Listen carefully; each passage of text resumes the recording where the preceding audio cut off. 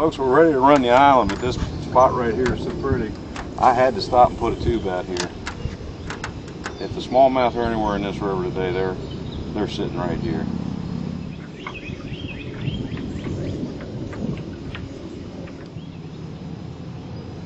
Here, here we go. Fish on! Oh, right at the boat. Oh, oh. There's our first smallie of the day. Oh, come on, baby. Come on, baby. There we go. Yeah, that's what we've been looking for. Did we find you? Yeah. Come on, sweetie. There you go, folks. Potomac River smallmouth. Right there. Thanks.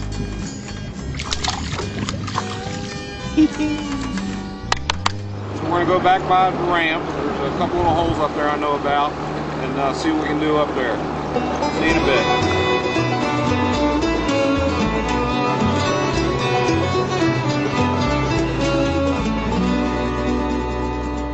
Throw this little crawdaddy in here, see if anybody's interested in the crawdad this afternoon. Oh, he is! Fish on! Oh, look at that little fella. Are we having fun yet? On the crawdaddy. They're hungry. Hey, smoking looks pretty good. Folks, when you use the treble hooks too, get a pair of pliers. It's terrible when you get them stuck in your hands. The pair of pliers help so much. There you go. Fun, huh? Fish on. They're loving this little crayfish. Not a little one, but boy, we're having a ball out here, folks.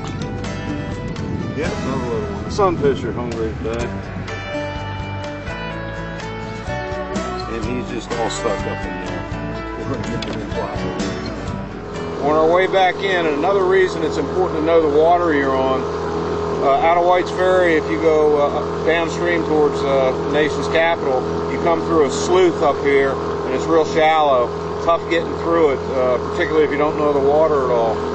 So uh, again, you know, always know the waters you're on. We're going to go up here and grind our way through and head back in and uh, head back for the shop.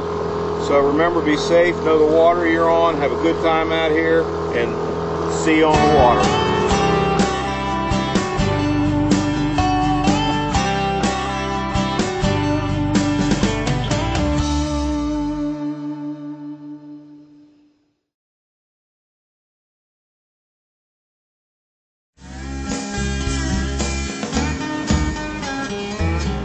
You'll feel a tick tick.